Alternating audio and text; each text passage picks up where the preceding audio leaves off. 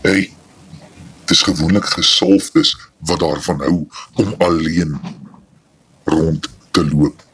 Dis gesalfdes en profete wat alleen staan. Wanneer jy dit gaan besef, dan gaan jy weet dat daar 'n profeet in julle volk se midde is. En jy is besig om hom te ignoreer. Jy is besig om die stem van Vader te verwerp.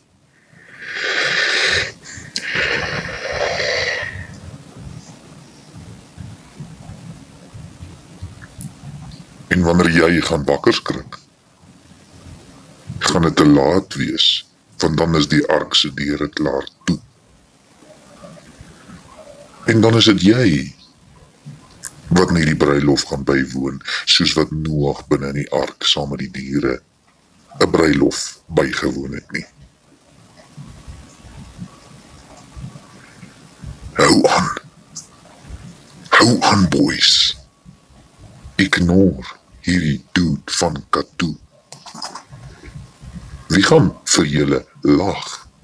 Beslis nie ek nie. Want ek gaan besig wees om bruilof te hou terwyl dit jy is wat gaan ween en gaan kners op jou tande wanneer die byl val en die sekels kom